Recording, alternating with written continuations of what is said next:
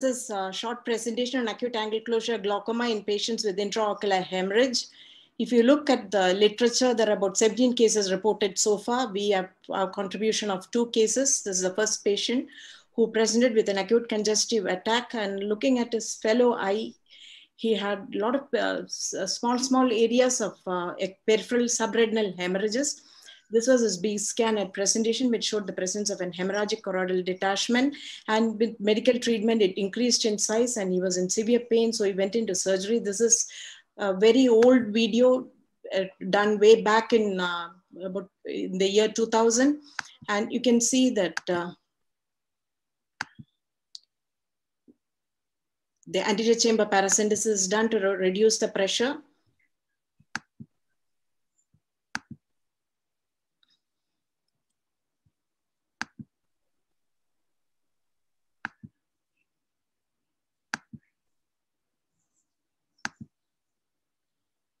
and the suprachoroidal blood is drained out.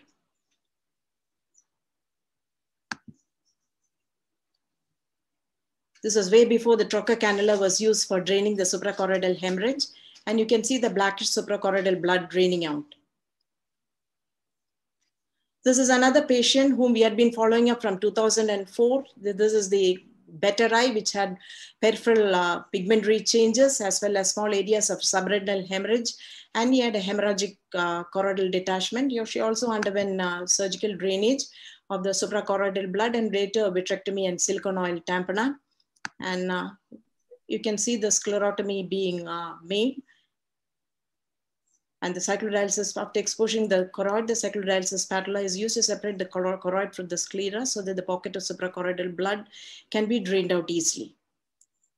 Here, the risk factors in this patient were hypertension and uh, oral anticoagulant therapy, both of which are significant risk factors. And since most of our elderly patients, PH, PHC, or peripheral exudative hemorrhagic chorioretinopathy, which is what this patient had, is a less recognized entity it is seen in majority of elderly patients. Some changes are there in the periphery. If we look for it.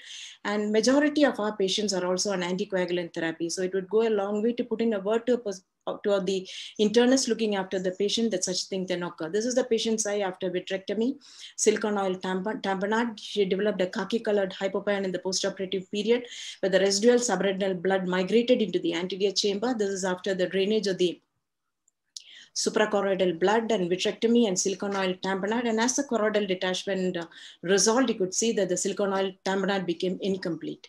So PHCR is an, not an uncommon condition. It is a less frequently recognized condition. And the risk factors for developing suprachoroidal hemorrhage in this patient, massive suprachoroidal hemorrhage, resulting in angle closure glaucoma, systemic hypertension, and anticoagulant therapy.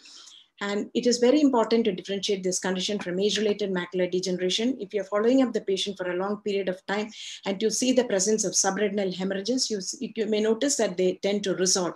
Well, in AMD, it is a progressive condition. It is also important to differentiate these patients from uh, patients having choroidal melanoma. This is, these lesions are usually seen in the temporal quadrant.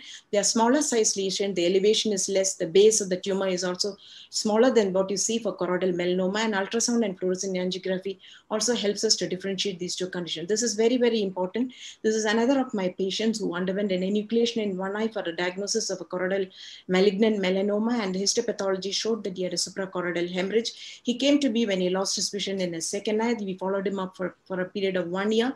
And you can see that in the first picture, you can see the massive suprachoroidal hemorrhage sitting right at the pupillary area and it resolved spontaneously without without therapy in that eye. Although he has eye dialysis, I could still be saved.